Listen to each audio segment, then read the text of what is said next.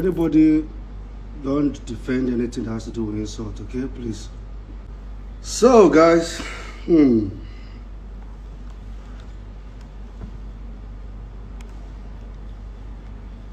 I don't even know what to start. I don't even know what to say, but I have to say.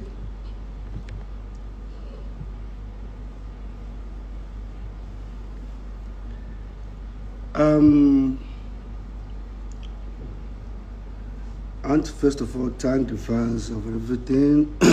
Mr. P ama Rude Boy ameamua kumjibu kaka yake kwenye live ambayo ameifanya siku za hivi karibuni, na tukapata nafasi kukusogezea uh, sehemu mbili na ukafahamu nini ambacho kinaendelea kati ya Paul Peter pamoja na kaka yao Judy Okoye. Sasa Rude Boy amefunguka kupitia mtandao wake eh, wa kijamii na kuelezea kwa urefu sana ishu jinsi ambavyo ilivyo. Ameanza kwa kusema, mimi siwezi kulinda kitu chochote kinachohusiana na matusi, sawa? Tafadhali wasikilizaji, sijui nini nianzie wapi na sijui nini niseme, lakini lazima niseme. Nataka kwanza kuwashukuru mashabiki kwa kila kitu kilichokuwa kikiendelea. Mtu mmoja amesema zima maoni. Mimi siwezi kufanya hivyo, sitazima maoni, sitafanya hivyo. Kuna mambo ninataka kufafanua haraka. Kwanza kabisa, ninajua mnatupenda sana, mmetuonyesha upendo mkubwa, na hiyo ndiyo sababu mko na huzuni kuhusiana na kilichotokea. Lakini kabla sijaanza kusema ninachotaka kusema kwa uaminifu kwa mashabiki wetu wote,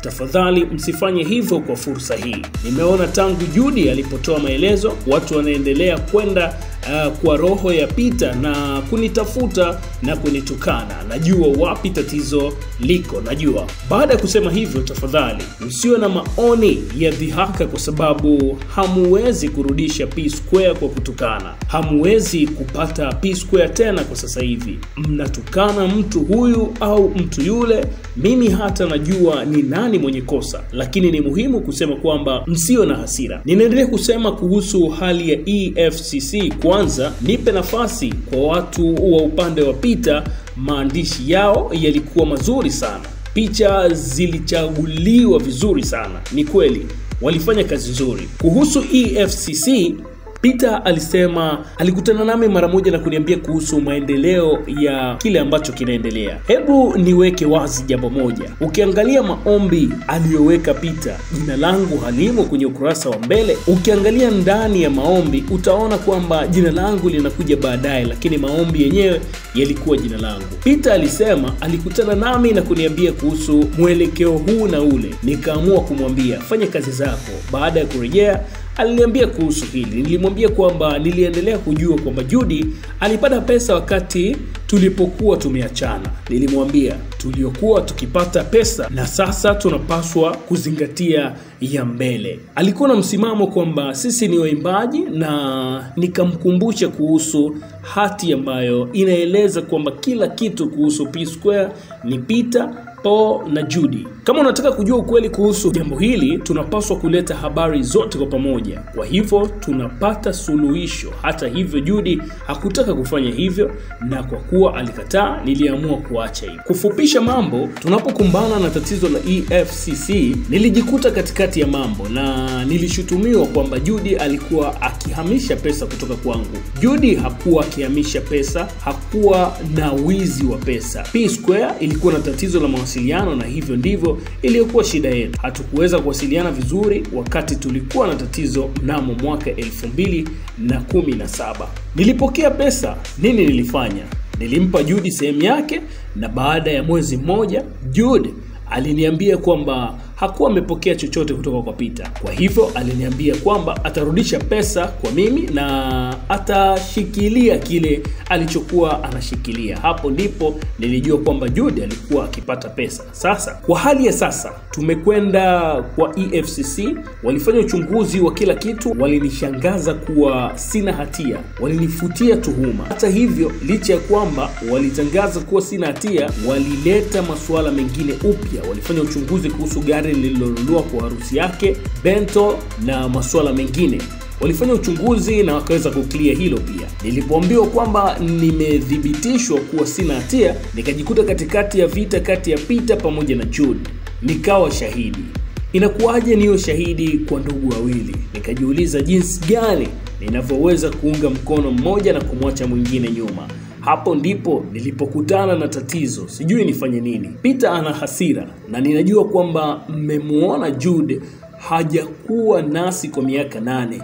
Judy hakuwa na uhusiano na P Square kwa miaka nane. Kwa wale wanaosema kwamba ningeweza kuwa kaka mkubwa, haitakuwa mpaka mtu akutambue kama kaka mkubwa ndipo utaelewa. Ni bahati mbaya kwamba haya yanayotokea katika familia yangu, siwezi kusema kuwa hamjui. Ninahitaji amani zaidi kuliko nyinyi. Bado kuhusu swala la EFCC, Peter anajaribu kuniunganisha mimi na Judy ili picha ionekane nzuri, lakini baada ya uchunguzi nilimwambia Peter kwamba Paul hana hatia. Alijaribu kuunganisha tena na waliniambia tena Paul hana hatia. Sasa wamefanya kusema Paul ni shahidi na hiyo ndiyo shida. Niliwafikiria hawa ndugu zangu wawili na nisijua wapi pa kwenda. Sasa kama mimi ni shahidi, Judi hajakataa katika EFCC kwamba kutokana na Pita kutonipa kile alichowahi kunipa nilirudisha kwa Pita. Sasa nasikia kwamba Judi amefungua akaunti ya siri, lakini hiyo siyo akaunti ya siri. Kwanza kulikuwa na Northside Music eh, wakati Judy alifanya film na kisha Northside Limited ambayo ilikuwa management ya P Square. Sasa kuna Northside Music ambayo ni kama uh, Robo Record yangu Mr P ya Peter, hiyo siyo akaunti ya siri. Ninaomba kwa nyinyi kwamba sasa hali iko wazi. Kama mnaendelea na hali hii, mnaweza kusema nenda utafute amani, lakini mimi nalilia amani zaidi kuliko nyinyi. Nilikuwa ni mtu aliyesimama na kulia nikiwa naimba wimbo Heaven nikisikia nimechoka na kila kitu. Sasa niko katika hali ambayo sijui nifanye nini, nikiwa shahidi katika EFCC kuwa na maswali kuhusu ndugu zangu ni kuchoshwa sana.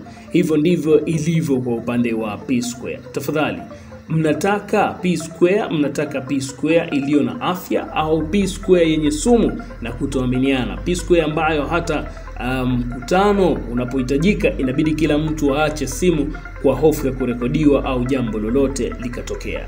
Ninajaribu kumaliza hii kwa mara ya kwanza. Hii ni mara ya tano Peter anavunja kundi.